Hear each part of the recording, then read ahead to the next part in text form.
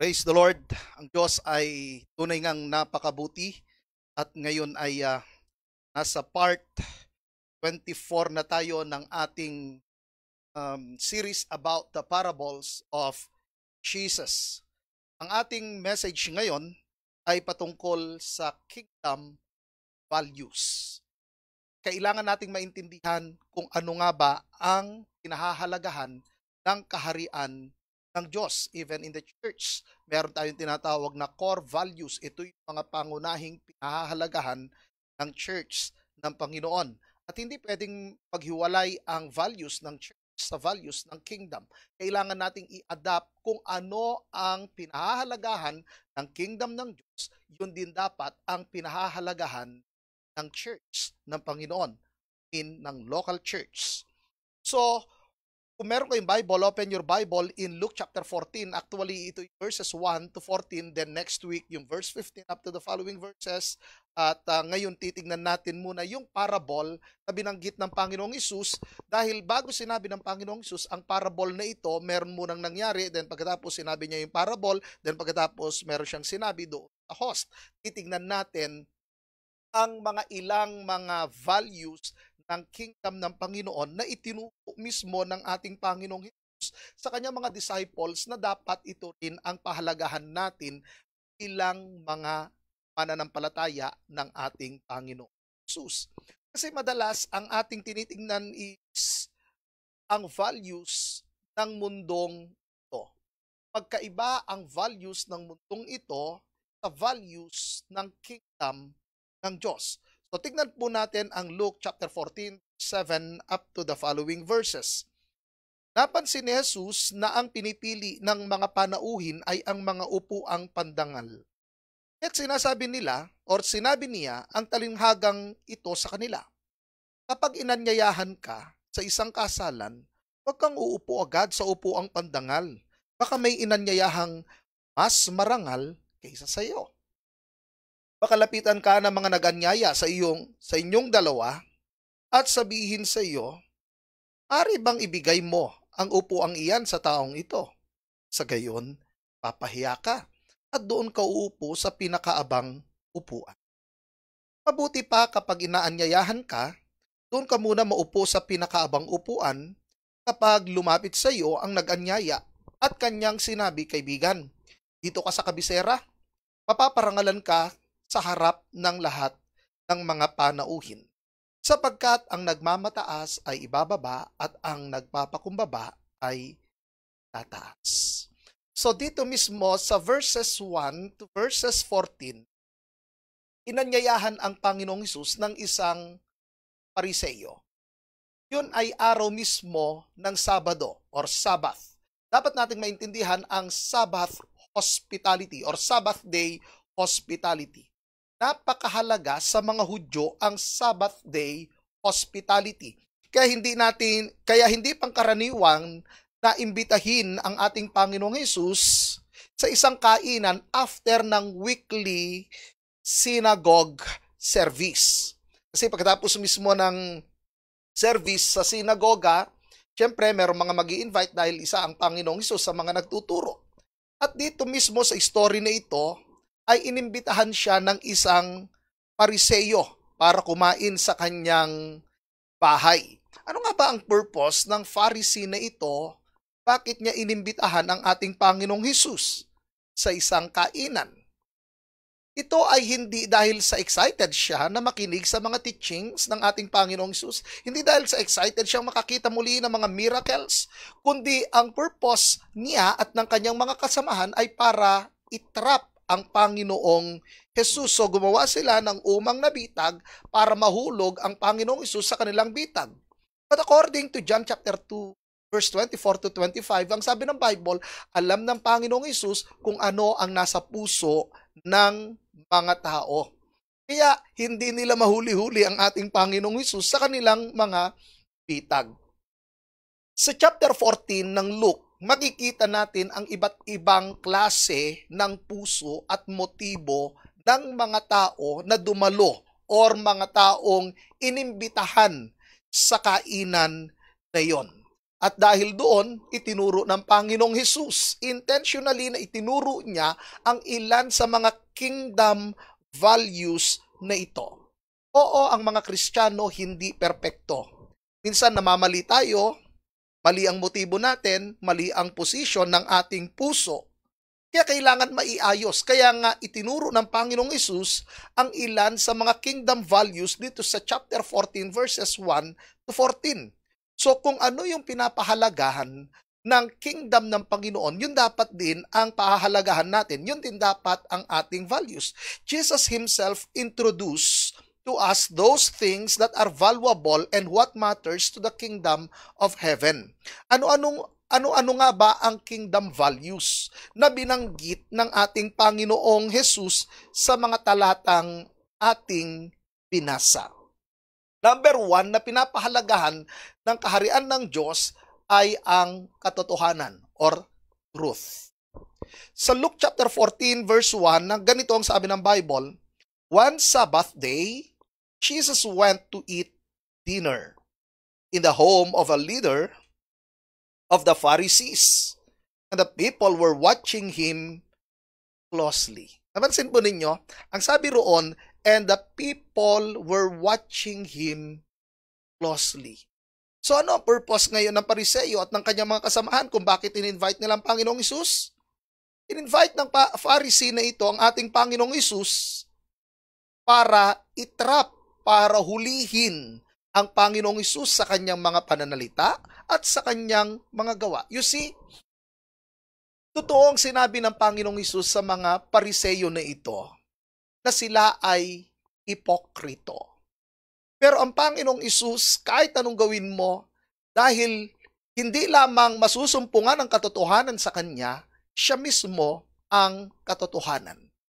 Ang isa sa mga pinapahalagahan ng kingdom ng Panginoon, walang iba kundi ang katotohanan. Kaya sinabi ng Panginoong Isus, I am the truth. Siya ang katotohanan, hindi po siya fake. Siya po ay genuine. Hindi mo lamang basta't masusumpungan ang katotohanan sa kanya, siya mismo ang katotohanan. So yung kanyang ibinabalita, hindi po siya fake news. Totoo po. Ang kanyang mga sinasabi ay hindi po fake. Totoo ang kanyang sinasabi. 1 John chapter 2 verse 21. Sumusulat ako sa inyo, hindi dahil sa hindi ninyo alam ang katotohanan, kundi dahil alam na ninyo ito at alam din ninyong walang kasinungalingang nagmumula sa katotohanan. Napansin po ninyo, ibang-iba ang mga pariseyong ito sa ating Panginoong Hesus. Ang mga pariseyong ito ay mga sinungaling. Wala sa kanila ang katotohanan. Ang kanilang pag-invite sa ating Panginoong Hesus, hindi dahil sa genuine sila, kundi sila'y mga fake, mga pekeng tao sa ating pananalita ngayon, mga taong plastic. Ano pang mas matindi sa plastic? Di ba? Di ba? Iba-iba, iba-iba yung mga hugot ng mga tao. Yung iba yung kanila pagka-plastic hanggang supot lang. Pero yung iba, eh, nasa highest level. Ano yon? Nauri ng pagka-plastic, yung makunat, yung tupperware, sabi nila. Marami mga tao tupperware, eh, no? Sila yung mga pariseyo, sila yung mga taong tinatawag nating mga hypocrite mga ipokrito. Hindi po sila totoo. Nakangiti po sila sa iyong harapan pero sa talikuran, ay nako, grabe. Ibang klase, no? Kung ano-ano mga pinagkukwento sa iyo. Ganyan ang mga pariseyo, eh, no? Sa, sa ang kanilang pang ang kanilang ginagawa, ginagawa nila ang religion para kanilang maskara. Yun yung kanilang mask. Para sabihin, oy, okay ako, pero sa talikuran, sa loob ng kanilang puso, e iba ang kanilang iniisip. Pero nung sabi ng Bible, bilang mga anak ng Diyos, bilang mga anak ng katotohanan, e walang kasinungalingang nagmumula sa katotohanan. Yun ang sinabi mismo ni John the Beloved. Kaya babalik tayo dun sa word ng Panginoong Jesus na siya ang katotohanan. Siya ay genuine at hindi fake. Hindi siya pakitang tao. Bilang mga anak ng Diyos, dapat ito ang i-adapt natin na pinahahalagahan ng Panginoon. Ito, ito ang isa sa ating mga values, ang ano, ang katotohanan. Huwag kang maging peke. Huwag kang maging hypocrite. Huwag kang maging plastic or huwag kang maging tupperware. Amen? So, ano ang sabi ng Bible sa Kawikaan chapter 29 verse 5? Ito, alam ninyo, ito maraming mga taong ganito eh. Pero wag ka sana maging ganito. Amen? Dahil kung ikaw na palataya na sa Panginoong Isus, so hindi mo na i-adapt kung anong values ang mayroon ang mundong ito. Tandaan ninyo, ang i-adapt natin ay ang values ng kingdom ng Diyos, hindi ng kingdom ng darkness. Tingnan nyo ang values ng mundong ito. Ganito ang sabi ng Bible. Sa Kawikaan 29 verse 5. Ang kunwang pun pumupuri sa kanyang kapwa, nag-uumang ng bitag na sarili inihahanda. Diba ito yung mga taong kunyari pinupuri ka, Hoy, ang ganda-ganda ng makeup mo. Pero sa isip niya, mukha kang buruha. Diba? Mukha kang ganito, ang pangit-pangit mo. Mukha kang bangkay. So, di ba sinasabi, Uy, ang gwapo-gwapo mo, pero nasa isip niya, Uy, kamukha mo si ganito, ang pangit-pangit mo talaga. Pero tingnan po ninyo, ang sabi ng Bible, ang taong peke na pumupuri sa kanyang kapwa ay nag-uumang mismo ng sarili niyang bitag. So, ibig sabihin, ganito po ang principle ng Bible. Ang taong gumagawa ng trap sa kanyang kapwa, yung gumawa nun, siya mismo ang mahuhulog. Kaya nga, ang lahat ng mga mananampalataya, ito po yung lagi kong paalala sa inyo. Huwag na huwag kayong gaganti sa mga taong gumagawa ng masama sa inyo kahit anong gawin nila at gumawa sila ng mga trap laban sa iyo. Hindi ka mahuhulog doon. Bakit? Bibigyan at bibigyan ka ng Diyos ng wisdom, ng discernment upang hindi ka mahulog sa trap na ginawa ng mga tao against you. Hindi masisira ang principle na ito ang lahat ng mga gumawa ng trap, sila mismo ang mahuhulog nito. Napansin niyo ang ginawa nila sa ating Panginoong Isus? Hindi peke ang Panginoon eh. So, yung trap na inihulog or yung trap na ginawa ng mga hypocrite na ito, sila mismo ang nahulog sa kanilang trap. Isipin ninyo, kumuha sila ng may sakit, iniharap mismo nila sa harapan ng Panginoon. I mean, intentional na pumunta sa, na nasa harapan niya, itong may sakit na ito. At ang sabi ng Bible, tinitignan nilang maigi kung ano ang gagawin ng Panginoon. Yung pagbabantay na yon ay pagbabantay na gusto nila na mayroon silang sabihin against sa Panginoong Jesus. Kumbaga sa panahon natin, itong mga Pharisees na ito, sila yung mga CCTV, di ba? Sila yung mga chismoso at mga chismosa huwag mong patulan. Amen? Tandaan mo, kahit ichismis ka ng mga tao, kung nasa iyo ang katotohanan, wala ka namang dapat ikatakot eh. Wala ka naman dapat ipag-alala kasi hindi ka mahuhulog doon. Pabalik tayo sa principle na, na tinuturo ng kingdom ng Panginoon, ang sinong nag ang sino mang gumawa ng trap, siya ang mahuhulog nito. Kawikaan 26:27 to 28 ang nag-uumang ng bitag ay siya ring mahuhuli roon. Ang nagpapagulong ng bato ang siyang tatamaan niyon. Ang taong sinungaling ay galit sa kapwa.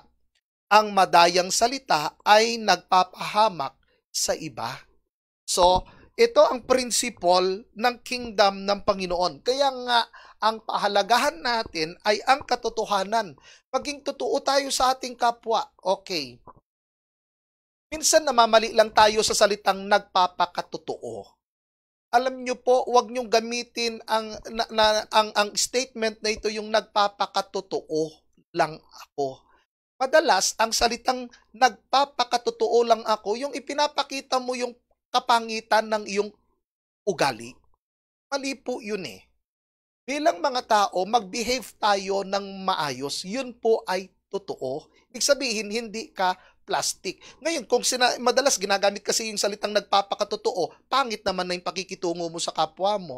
Hindi po pagpapakatotoo yun.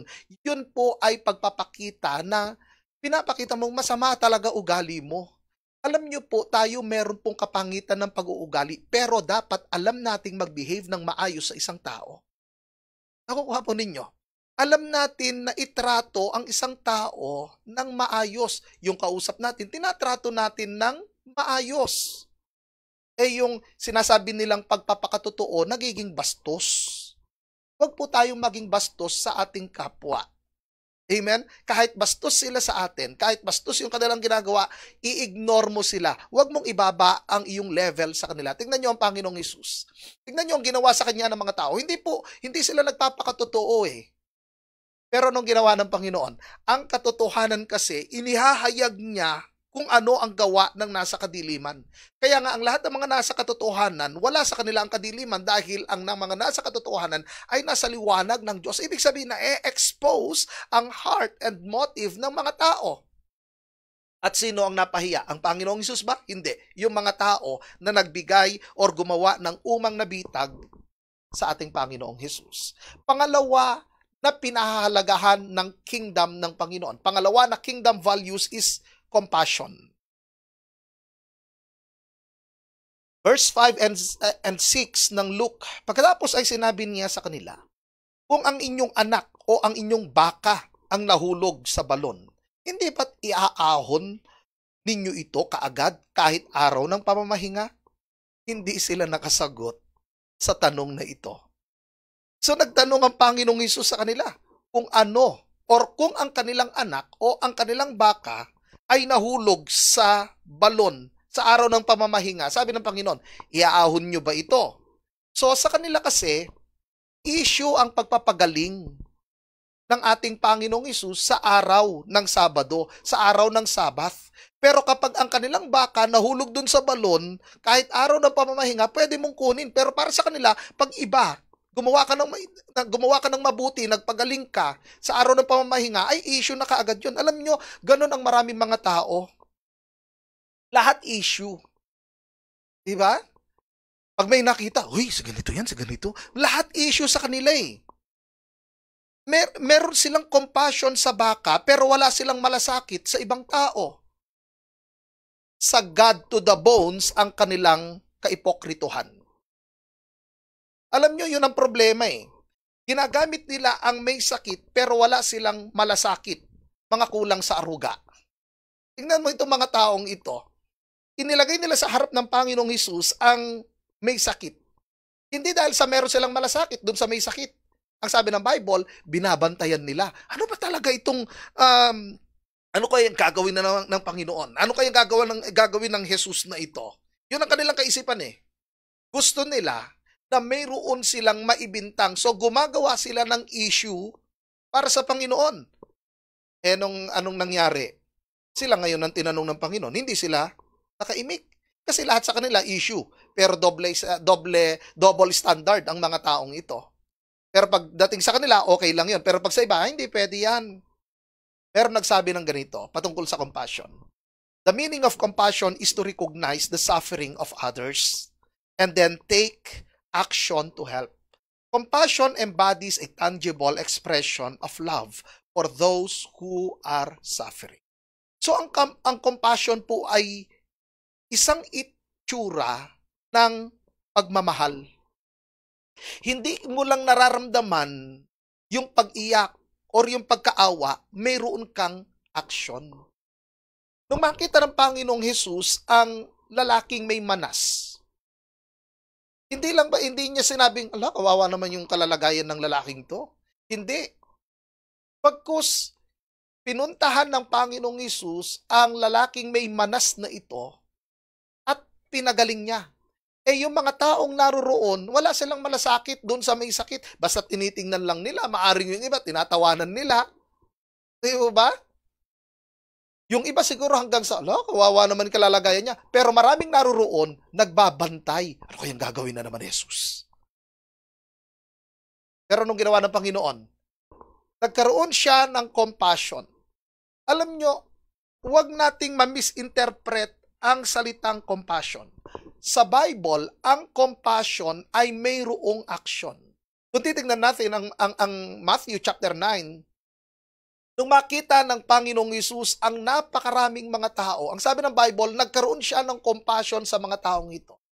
So hindi lang basta't siya naiyak, hindi lang basta't mayroong kurot at kirot sa kanyang puso, ang sabi ng Bible, pinakain ng Panginoong Isus ang mga taong ito at tinuruan sila ng Panginoong Isus ng mga salita ng Diyos. Tingnan nyo ang compassion. Ang Panginoong Isus, habang naglalakad siya, mayroong may ketong na lumapit sa kanya at nagmakaawa. Sabi niya, kung kalooban mo, pagalingin mo ako.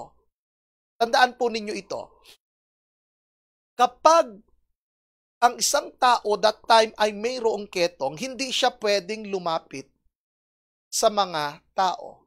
Kaya nga sisigaw ang may ketong, nasasabihin niya, marumi, marumi, marumi. So walang taong lalapit sa kanya. Pero tingnan ninyo ah, naroon ang compassion ng Panginoong Yesus sa may ketong na ito. Ang sabi niya, kung kalooban mo po, gumaling ako ang sabi ng Panginoon, kalooban ko. Hindi lang basta sinabi niya kalooban ko, ang sabi ng Bible, inunat ng Panginoong Hesus ang kanyang kamay dun sa may ketong. Alam ninyo, sa religion, that time, kapag hinawakan mo ang may sakit, maituturing kang marumi ka na. So, dahil marumi ka na, lahat na mahawakan mo nagiging marumi. Anong ginawa ng Panginoong Hesus? Hinawakan niya ang may ketong na ito at pinagaling niya. Hindi lang niya basta pinagaling, hinawakan niya ang taong ito. Ang compassion ay isang itsura ng pagmamahal. At ang pagmamahal ay hindi hanggang salita, ang pagmamahal ay mayroong action. Ang sabi ng Bible, For God so loved the world that He gave.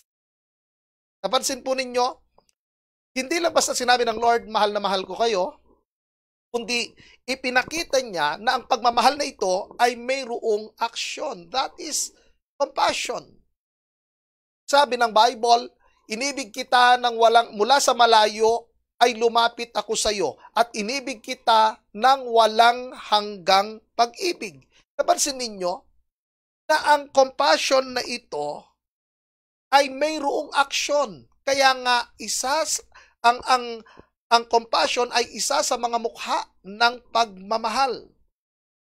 Ang Panginoong Isus nung makita niya ito. Isipin niyo ah, habang nag-enjoy marami mga tao, nagkakainan sila, hindi nila pansin yung iba, yung yung may sakit, yung iba naman pinapansin nila ano kayang gagawin ng ng Panginoong Hesus samantalang yung iba maaring tinatawanan na may sakit na ito. Anong ginawa ng Panginoong Hesus? Inabot niya ang may sakit na ito. Yun ang compassion. Tingnan niyo ang compassion ng God the Father sa mga tao. Isang halimbawa rito ay ang mga Israelita. In Exodus chapter 3 verse 7 up to the following verses. Ito yung pakikipag-usap ng Panginoong Isus kay Moses. And more than 400 years na slave ang mga Israelita sa Egypt. Ganito ang sabi ng Bible. Sinabi sa kanya ni Yahweh, Nakita kong labis na pinahihirapan ng mga Ehipsyo ang aking bayan. Alam ko ang hirap na kanilang tinitiis at narinig ko ang kanilang pagdaing. Napansin po ninyo, lahat pala ng pinagdaraanan natin alam ng Panginoon. Naririnig ng Panginoon ang ating pagdaing. Nakikita ng Diyos ang ating pagluha. Alam ng Diyos ang hirap na tinitiis natin. Yun po ang realidad. Paring nararamdaman mo ngayon sa dami ng tao napapansin kaya ako ng Diyos? Alam kaya ng Diyos yung bigat at hirap na aking nararamdaman ngayon? Ang sagot ay oo. Alam ng Diyos. Hindi lang basta't alam ng Diyos, kundi nararamdaman ng Diyos kung ano ang nararamdaman ng kanyang mga anak. Verse 8. Napansin niyo ah, hindi lang it, itong itong compassion na ito hindi lang basta't nakita ng Diyos, hindi lang basta't naramdaman ng Diyos, kundi meron siyang action. Verse 8. Kaya't bumaba ako upang sila'y iligtas, ilabas sa Ehipto at ihatid sa lupang mainam, malawak, mayaman at sagana sa lahat ng bagay. Ito'y ang lupain ng mga Kanineo, Heteo, Amoreo, Perezeo, Hivita at Jebuseo. Narinig ko ang narinig ko nga ang pagdaing ng aking bayan at nakikita ko ang pang-aaping ginagawa sa kanila ng mga Ehipsyo. Kaya't papupuntahin kita sa Faraon upang ilabas mo sa Ehipto ang aking bayang Israel. So dito maliwanag na ang compassion ng Diyos ay mayroong action. Ang kingdom ng Diyos, ang isa sa mga values ng kingdom ng Diyos ay ang compassion. Ang ating Diyos ay compassionate. Nandoon ang kanyang totoong pagmamalasakit, ang kanyang pagmamahal. Alam niya ang katatayuan ng kanyang mga anak. Alam niya ang pinagdaram, pinagdaraanan ng kanyang mga anak. Alam niya ang hirap at sakit na nararanasan ng kanyang mga anak. At hindi lang niya basta't alam ang sabi ng Panginoon. Kaya't ako'y bababa. Ibig sabihin, mayroong action. Maring nasa sitwasyon ka ngayon na napakatindi ng iyong pinagdaraanan. Alam yan ng Diyos. At mayroong action ang Diyos. Mayroong gagawin ang Diyos na dakilang bagay sa iyong Amen. So sa atin naman na mga mananampalataya, kailangan nating i-adapt ang values na ito. Kailangan natin na i-practice kung ano ang values ng kingdom at dahil tayo ay under ng rulership ng ating Panginoong Isus bilang mga mananampalataya, dapat nating i-adapt ang values na ito, ang compassion. Hindi lang ang truth, kundi maging ang compassion. Anong ibig kong sabihin? Ang compassion natin sa mga unbelievers, sa mga hindi pananampalataya sa Panginoon. One of the most compassionate acts we can do is to share the gospel of Jesus Christ sa mga taong hindi pa nakakilala sa Kanya. So, ibig sabihin, hindi lang basta ipinagpe-pray natin yung mga taong hindi nakakakilala sa Panginoon, kundi aabutin natin sila. Meron tayong action. Kaya nga po, isa sa mga expression ng ating compassion ay ang pag-open natin ng ating mga outreaches. Na tayo nawa ay maging mata, bibig, kamay, paa ng Diyos upang abutin ang mga taong ito. Naalala nyo yung sa Exodus 3.10, uh, kaya nga sabi roon, kaya't papupuntahin kita sa Faraon upang ilabas mo sa Ehipto ang aking bayang Israel. Napansin ninyo, ang bibig ng Diyos, ang mata ng Diyos, ang kamay ng Diyos at paa ng Diyos, ang ginamit niya ay si Moses. Para abutin ang mga Israelita, ganun din isa sa mga gawa ng ating compassion ay ang pag-abot natin sa mga taong hindi pa nakakakilala sa Diyos.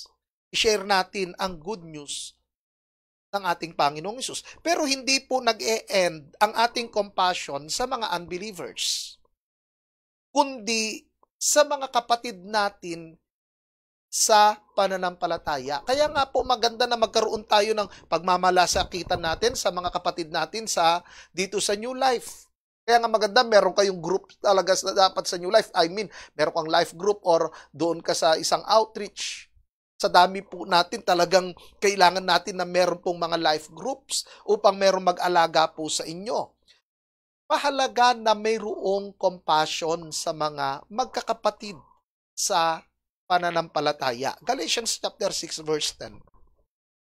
Kaya nga sa lahat ng pagkakataon ay gumawa tayo ng mabuti sa lahat ng tao, lalo na sa mga kapatid natin sa pananampalataya. So ang kasama natin, uh, I mean, ang ating compassion ay hindi lamang or hindi nagtatapos sa pag-share natin ng gospel sa mga unbelievers, kundi sa ating kapwa kapatid sa Panginoon. Sila dapat, alam nyo, nandoon, ang sabi ng Bible eh, lalo na sa mga kapatid. So, kasi ang spiritual family, ito talaga yung eternal na family mo eh. Sabi ng iba is, um, blood is thicker than water. Tama po ba? Blood is thicker than water. Pero ito sasabihin ko sa iyo, spirit is thicker than blood. Kasi ang spiritual family ay eternity na po ito. Kaya nga, ang sabi mismo ng Bible, lalo na sa mga kapatid natin sa pananampalataya. Okay, maaaring sasabihin nyo sa akin, meron ba talaga sa Bible pa na sinasabi nyo po na yung spirit is thicker than blood? Naalala nyo po yung isang araw na nagpipreach ang Panginoong Isus sa loob ng bahay at napakarami mga tao at pinuntahan siya ng kanyang nanay at mga kapatid. At susunduin na siya ng kanyang nanay at mga kapatid kasi nga, Nag-aalala na sila sa Panginoong Isus dahil naniniwala na sila na ang Panginoong Isus ay napoposes na sisiraan ng ulo. Then may bumulong or may nagsabi sa Panginoon, sabi, Panginoon, nandyan po ang iyong nanay at mga kapatid. Ano sagot ng Panginoon? Sino ang aking nanay? Sino ang aking mga kapatid? Alam niyo sabi ng Panginoon, ang aking nanay at ang aking mga kapatid ay ang mga nakikinig at nagsasagawa ng aking mga salita. Kasi niyang principle, spirit is thicker than blood. Kaya ang sabi ng Bible, lalo na, Galatians chapter 6 verse 10, lalo na sa mga kapatid natin sa pananampalataya. Number 3 na values ng kingdom, at ito'y mababasa ninyo sa verses 7 to 11, is humility. Dapat sin ng Panginoong Isus na pinipili ng mga bisita ang mga upo ang pandangal. Okay.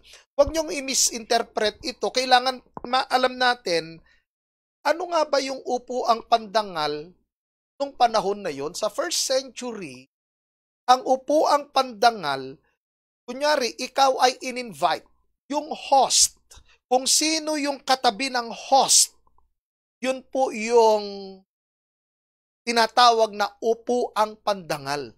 Kung sino yung kanyang nasa kanan, kung sino yung sa kanyang nasa kaliwa, yun yung upo ang pandangal. So kung sino yung pinakamalapit sa host, yun yung sikat. Yun yung ah, matindi. So, ang tingin na ng mga tao, kung sino kalapit ng host, wow, bang klase? Sino kaya yung tao na yan? Naalala nyo si James and John? Diba? Kinuha ng ng nanay ni, ni James and John uh, kinuha ng ng nanay niya itong magkapatid na ito, di ba? At dinala sa Panginoong Hesus, sabi ng nanay ni James and John, Panginoon, meron po akong request. Sabi ng Panginoon, anong request mo? Pwede pa itong dalawang anak ko na si James and John, eh, yung isa sa kanila uupo sa kanan, yung isa uupo sa kaliwa. Nagalit yung sampung disciples eh. Tama po ba ako? Kasi ang hinihingi ang hinihingi ng nanay ni James and John ay ang upo ang pandangal. Kung sino kasi ang pinakamalapit, yun yung pinararangalan. Yun yung sikat. Napansin po ninyo ang ating Panginoong Hesus. Napansin niya ito eh. Observer po si Lord eh. Tignan niyo sa verse 8 and 9 to 11. Kapag inanyayahan ka sa isang kasalan, huwag kang uupo agad sa upo ang pandangal. Baka may inanyayahang mas marangal kaysa sa iyo. Pakalapitan ka ng nag-anyaya sa iyong sa inyong dalawa at sabihin sa iyo, "Mari bang ibigay mo ang upuang iyan sa taong ito, sa gayon mapapahiya ka at doon ka uupo sa pinakaabang upuan. Ano naman yung pinakaabang upuan? Yung pinakamalayo doon sa host. So kung kung uh, yung ikaw ang pinakamalayo doon sa host, nako, ikaw uh, ang tawag doon pinakaaba. Ulelat. Okay?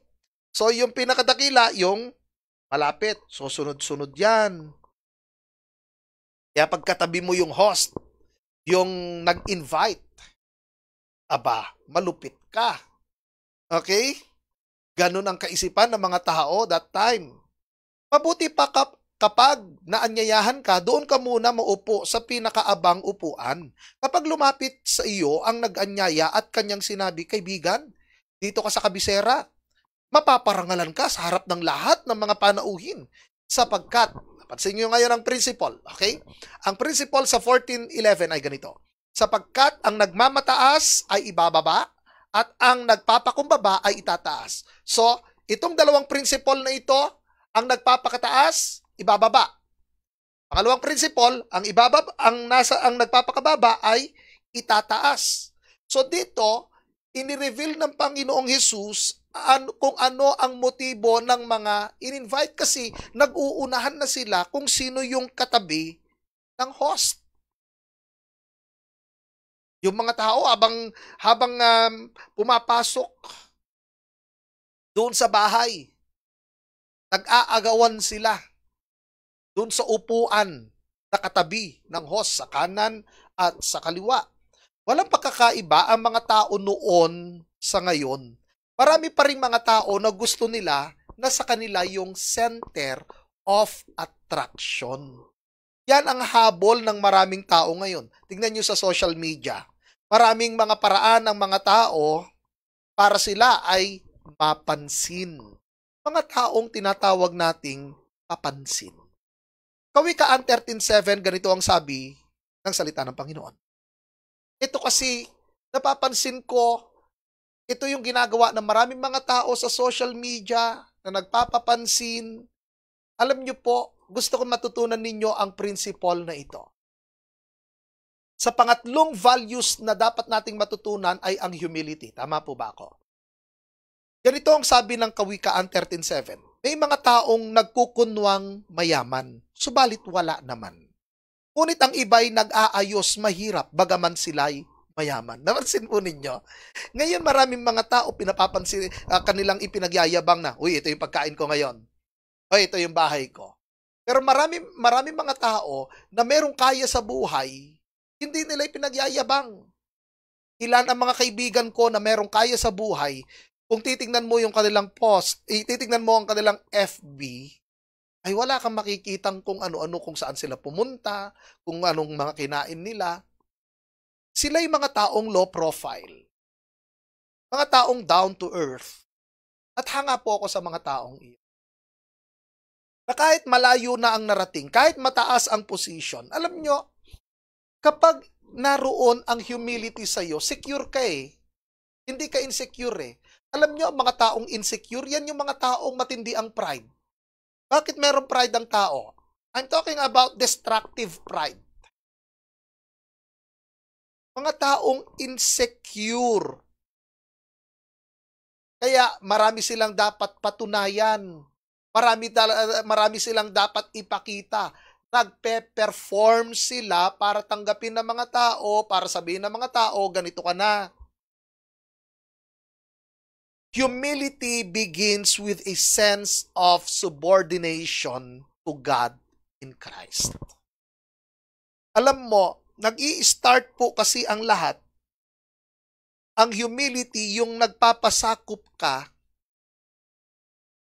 sa Panginoon. Kaya totoo ang sabi ng Panginoon, ang nagpapakababa, itataas niya. So ang biblical humility, hindi lang basta isurrender mo ang buhay mo sa Panginoon nung ikaw ay nanampalataya sa Kanya. I mean, nung tinanggap mo siya as Lord and Savior, kundi bilang mga Kristiyano, ang humility ay necessary para ikaw ay maging great sa kingdom ng Diyos ang kingdom values. Gusto mo ng promotion? Then mag-humble ka. Gusto mo ng more grace? Then mag-humble ka. Ang susi sa greatness ay humility. Wala pong shortcut. Kaya kung gusto mo na maging dakila sa kaharian ng Diyos, then matuto kang mag-serve. Kaya nga po, isa sa expression ng humility ay marunong ka mag-serve sa local church ng Panginoon. Kaya ini-encourage ko po kayo mga kapatid na kayo'y mag-serve sa Panginoon. Maganda pong uh, marinig nyo yung teaching this week about sa will ng Panginoon. Ano nga ba ang kalooban ng Diyos? At may tuturo po roon ang kahalagahan ng pagsiserve sa Panginoon. Balik tayo dito sa ating values na ito, ang humility. Ang biblical humility ay necessary para ikaw ay maging dakila sa kingdom ng Diyos. Sa kingdom ng Panginoon, merong pinakadakila, merong dakila, at merong pinakaaba. Kaya po, tayo, dito tinuturuan tayo ng Panginoon na matuto tayong mag-humble. At ang expression ng humility is service matuto tayong mag-serve sa Panginoon at paano tayo nagse-serve sa Panginoon? Through His local church. At isa sa mga halimbawa or kahulugan ng humility ay mababasa din natin sa Proverbs chapter 3 verse 5. Ganito ang sabi ng Bible. Trust in the Lord with all your heart. Do not depend on your own understanding. So dito ipinapakita ng salita ng Panginoon na ang humility, hindi ka nakadepende sa sarili mo. Hindi ka nakadepende sa position mo. Hindi ka nakadepende sa husay mo or sa galing mo, sa kayamanan mo, sa tinapos mo, sa mga achievements mo kundi inilagay mo ang buong tiwala mo sa Panginoon. Kasi pag inilagay mo ng buong-buong tiwala mo sa Panginoon, isa lang ibig sabihin niyan, lahat ng kanyang ipinagagawa, ginagawa mo. That is service. Okay? Ang hindi ko po sinasabing lahat ng mga naglilingkod sa Panginoon ay humble, pero lahat ng mga humble naglilingkod sa Panginoon.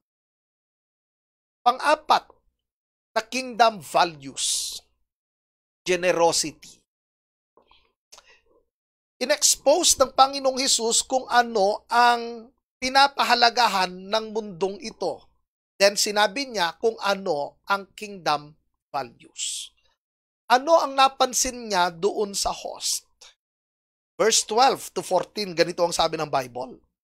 Sinabi naman ni Jesus sa nag-anyaya sa kanya, Kapag naghahanda ka ng isang salo-salo, Huwag ang iyong mga kaibigan, mga kapatid, mga kamag-anak o mayayamang kapitbahay ang anyayahan mo.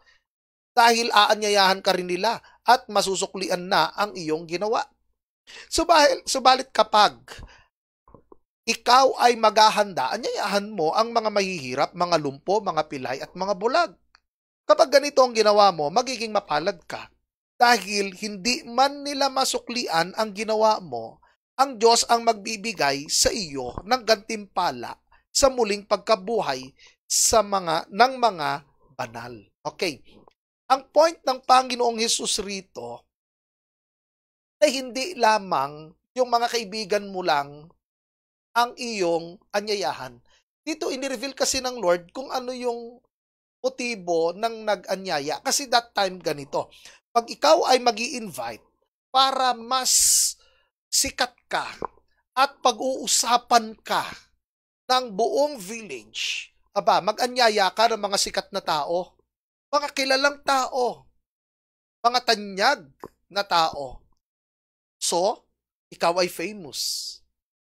Ang motibo ay para kapag ang mga kilalang taong ito ay pagkaroon ng salo-salo, i-invite ka rin nila alam niyo noon sa amin sa La Pastarlac, meron kaming kaugalian many years ago. Ewan ko kung kaugalian pa rin ngayon ito sa amin sa La Paz. Noon, kapag may mag-graduate ng high school or elementary or ng college, maraming magbibigay sa iyo ng regalo. Minsan naisip mo, wow! Alam niyo nung una po akong uh, nag-graduate nung elementary, ang dami kong regalo. Talagang nagulat ako. Pati yung mga nasa uh, kabilang purok. Yung tawag namin sa lapas, meron pa kami kasi tawag noon, kalye matakla. Pati yung mga taga kalye matakla. Eh, may mga nagbibigay ng mga regalo. Sabi ng tita ko, sabi niya, Babi, anak, itago mo yung mga pangalan na yan. Sabi ko, bakit po, auntie? Sabi niya, yan yung mga magagraduate next year, reregaluhan mo yan. Kaya pala sila nagregalo noon. Kasi, kaya pala sila nagregalo. Kasi, magka-graduate pala sila next school year. Ah, sabi ko, ganun pala yun. kaya nung ako po nag-graduate ng high school, ayun, eh, ang daming nagregalo po sa akin. Pagkatapos nun, uwi na ako rito sa Isabela. Di ko na naregaluhan yung mga nagregalo sa akin. Hindi, hindi sila, hindi tuloy bawi yung kanilang gift.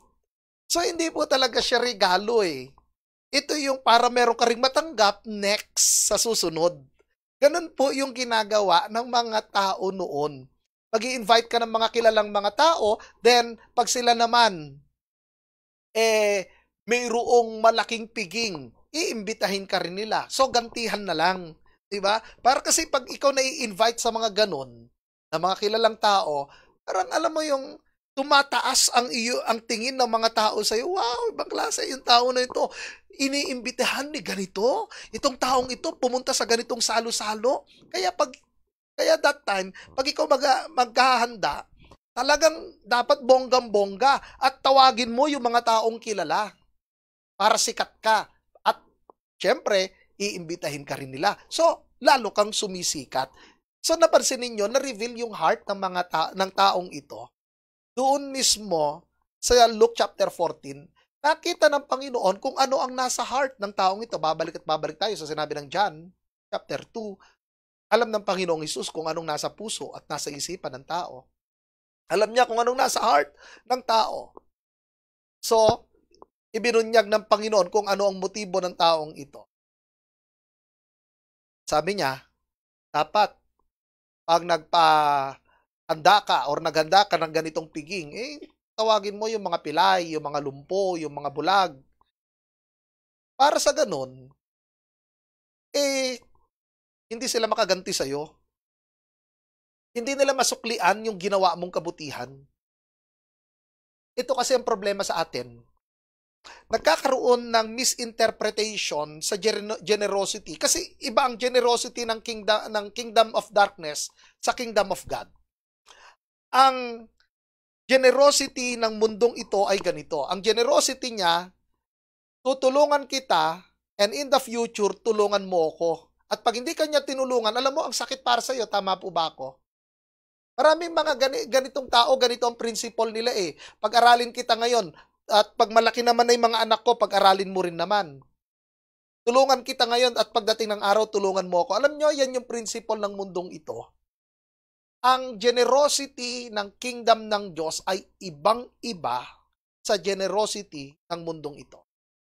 Ang generosity ng kingdom ng Panginoon, yung tutulong ka na hindi ka naghihintay ng kapalit sa taong tinulungan mo.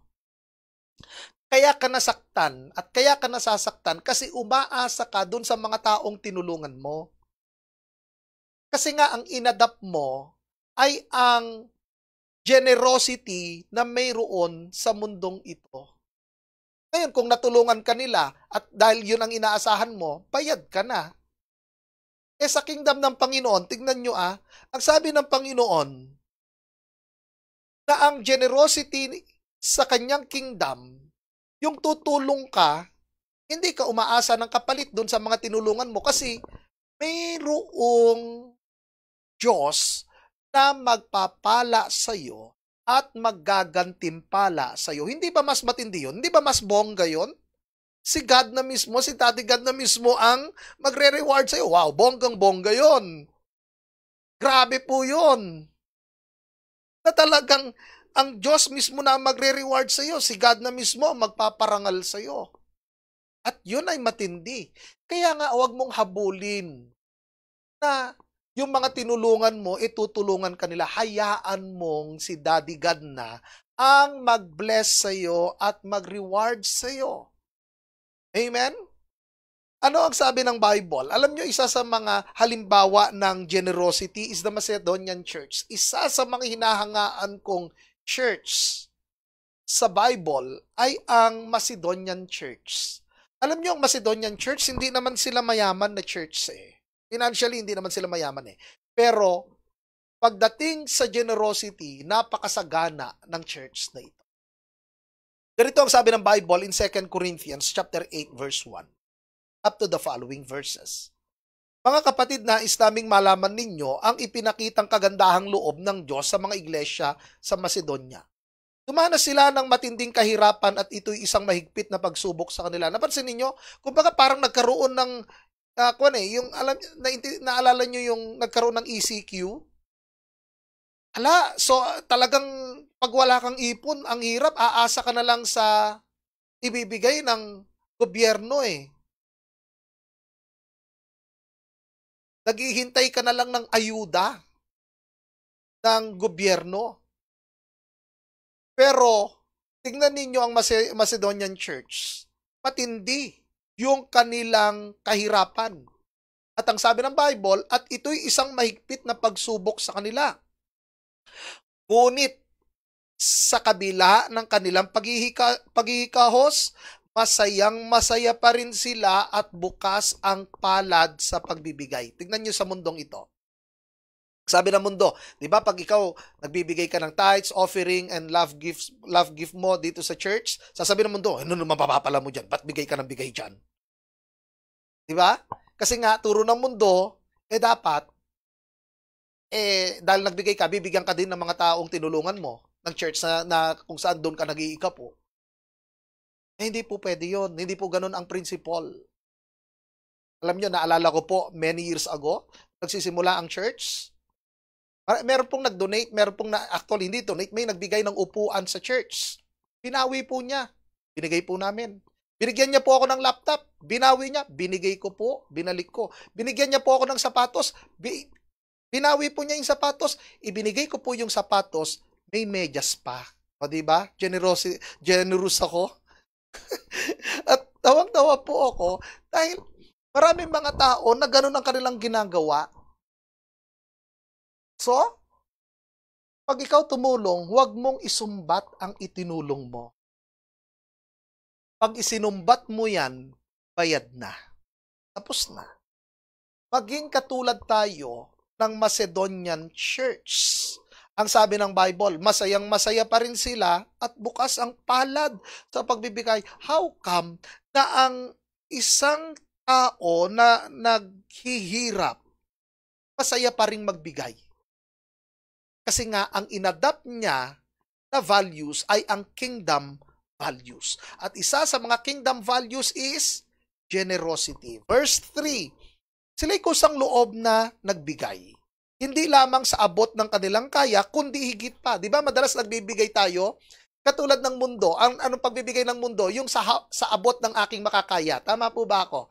Yun po kasi ang principle ng mundong ito. And many Christians, yan ang inadapt nila. Yung abot lamang ng aking makakaya. Pero ang kingdom principle, ibang-iba. Tingnan nyo ah, ang kingdom principle, ganito. Sila'y kusang loob na nagbigay, hindi lamang sa abot ng kanilang kaya, kundi higit pa. So, ang kingdom principle or ang principle ng mundong ito, yung abot lang ng iyong makakaya. Ang kingdom principle, higit pa sa iyong makakaya. Alam ko ito sapagkat mahigpit nilang ipinakiusap. Aba, matindi to. Hirap na hirap na nga sila. Nakikiusap pa silang magbigay. Diba? Sabi rito, Mahigpit nilang ipinakiusap sa amin na sila'y bigyan ng pagkakataong makatulong sa mga kapatiran na taga Jerusalem at higit sa inaasahan namin, inilaan nila ang kanilang sarili una sa Panginoon at pagkatapos sa amin ayon sa kalooban ng Diyos. So ito yung dapat nating maging principle na lakaran mga kapatid. And this is my challenge. Ang 2 Corinthians chapter 9 verse 6 to 12. Dito po tayo magtatapos. Gusto kong pakinggan ninyong maigi ito. Kasi ito'y matinding hamon po sa atin. Dahil maaaring nasa isip natin, eh, na, maintindihan naman ako ni God.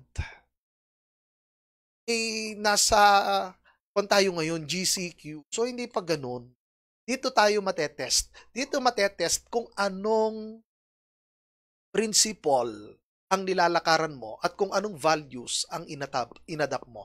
Ang values ng mundong ito or ang values ng kingdom ng Diyos. Tingnan nyo ang values ng kingdom ng Diyos. Verse 6, chapter 9 ng 2 Corinthians. Tandaan ninyo ito. Ang nagtatanim ng kaunti ay aani ng kakaunti. At ang nagtatanim naman ng marami ay aani ng marami. Yan ay isang principle. Kung konti ang itinanim mo, huwag kang aasa na maraming aanihin. Sabi ng Bible, kung kon- ang konting itinanim, konti ang ani. Ang maraming itinanim ay aani daw ng marami. Okay? Huwag kang aasa, Lord, gusto ko sobrang dami. Nakadepende lahat yan sa, dina- sa dami ng iyong itinanim. Verse 7, ang bawat isa'y dapat magbigay ayon sa sarili niyang pasya. Or sariling pasya, paluwag sa loob at di napipilitan lamang sapagkat iniibig ng Diyos ang kusang nagbibigay ng may kagalakan. Ibig sabihin, masaya nagbibigay. Okay? Magagawa ng Diyos na pasaganain kayo sa lahat ng bagay. So magagawa pala ito ng Diyos. Pero babalik tayo sa principle, magtatanim tayo.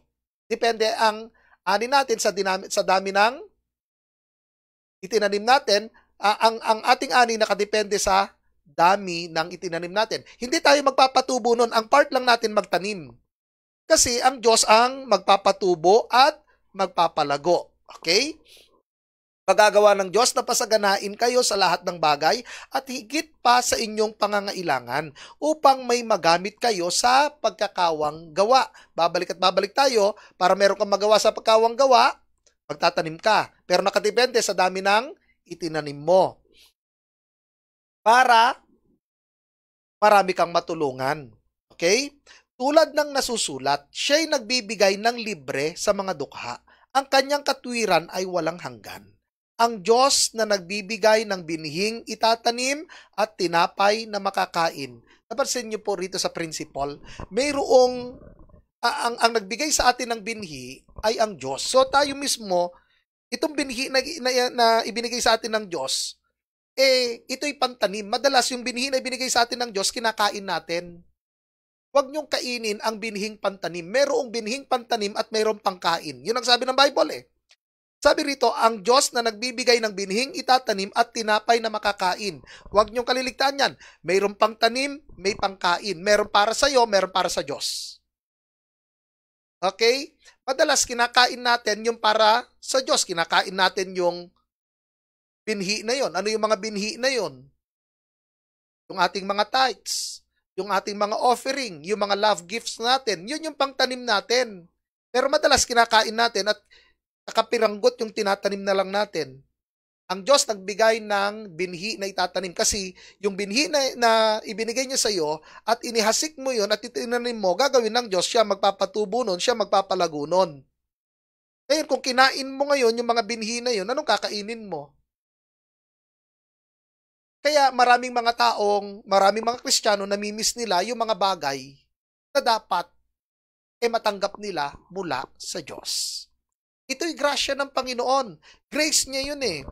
Huwag niyong misinterpret ang grace. Kaya nga sinabi roon, ibinigay ito ng Diyos na libre. Ano yung libre na yun? Libre yung binhi. Alam niyo yung mga magsasaka dito sa atin, sa panahon natin, inuutang po nila yung mga binhi na pantanim nila. Nung ako po ay na-assign many years ago sa Ilagan, sa Kabisera, sabi ko, wow, ang dami ninyong ani na mais. Sabi nila sa amin, pambayad utang lang po yan. Sabi ko, paano? Eh, dami naman na ninyong ani. Sabi niya, yung pantanim po kasi namin, eh, inutang namin. So, yung ani namin ngayon, yan yung pambayad namin. Kaya mahirap pa rin sila. Tingnan nyo ah, eh tayo, hindi natin inuutang yung pantanim natin. Spiritually, ang sabi ng Panginoon, siya nagbibigay. So lahat ng mga binhi, ibinibigay sa atin ito ng Diyos. That is grace. Ngayon, ang good news dito, nagrasya ng Panginoon, binigyan kanya ng binhing pantanim at pangkain. Madalas, ang ginagawa natin, yung binhi na pantanim, kinakain na rin natin. Meron na nga tayong pangkain, kinuha pa rin natin yung pantanim. Ang tawag doon is greediness. Okay? So, balik tayo. Verse 10, Ang Diyos na nagbibigay ng binhing itatanim at tinapay na makakain, ang siya ring magbibigay sa inyo ng binhi at magpapalago nito upang magbunga ng sagana ang inyong kabutihang loob. Pasasaganain niya kayo sa lahat ng bagay upang mas marami ang inyong patulungan. So, kaya yung mga binigay niyang binhi sa iyo, itanim mo lahat yon para maraming matulungan. Magiging blessing ka sa marami. Ang sabi ng salita ng Panginoon, sa gayon, lalong darami ang magpapasalamat sa Diyos dahil sa inyong tulong na dadalhin namin sa kanila. Ang pagtulong ninyong ito sa mga kapatid ay hindi lamang makakatugon sa kanilang pangangailangan, kundi magiging dahilan pa ng walang hanggang pasasalamat nila sa Diyos. So, ganun po. Yun po ang biblical generosity. At walang nasasayang na pagbibigay na ginagawa para sa Panginoon. Dahil sa verse 14 ng Luke chapter 14, ang sabi ng Bible, ang Diyos ang magbibigay sa iyo ng gantimpala sa muling pagkabuhay ng mga banal. Praise the Lord. Yan ang kingdom values. At sa kingdom values na ito, tinuro ko rin sa inyo ang mga principles ng kingdom ng Panginoon. Kaya huwag kayong manghina, huwag kayong manlupaypay. Walang nasasayang na pagpapagod natin, paglilingkod natin, pagpapagal natin, mga pagbibigay natin na ginagawa natin ng may kagalakan para sa Panginoon. Tayo'y alulod ng mga pagpapala ng Diyos, ito'y grasya ng Panginoon. Siya ang nagbigay ng lahat ng mga binhi, itanim natin ito. Nakadepende ang iyong ani sa dami ng iyong. Yuko po ninyo ang inyong ulo at ipapanalangin ko kayo. Daddy God, maraming salamat po sa iyong kaputi. Salamat sapagkat ikaw ang Diyos na siyang napakabuti sa amin. Salamat po sapagkat nalaman namin ngayon ang kingdom values and kingdom principles. I pray na ito ay i-adopt ng aking mga kapatid sa pananampalataya.